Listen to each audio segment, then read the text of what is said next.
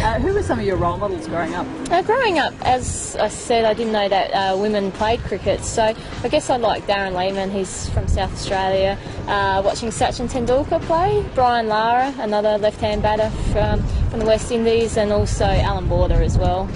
How about outside of cricket? Did you have any other sporting role models? Oh, not really. I've probably followed over time, followed a little bit of swimming. Um, really enjoyed watching Kieren Perkins uh, swim and, and his races. Um, you know, he did really well when he was coming through, so I probably enjoyed uh, following him. Uh, there's been a few in football and um, probably John Eales as well in rugby union. I think he's um, an idealistic person not only for Australian sport but for, you know for role model in general for kids. So he's been uh, one of my big role models, definitely.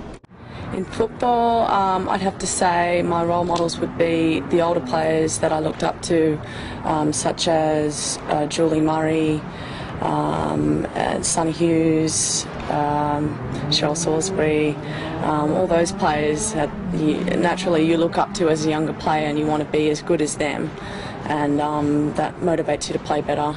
How about outside of women's football?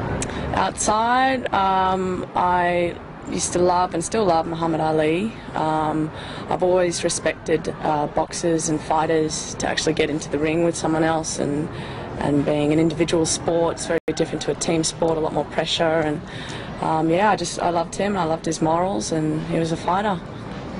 My role models would have to be family members. Uh, they were playing sports at uh, a competitive level, so I aspired to be like them. And I should spill the beans. Is your New Zealand family members?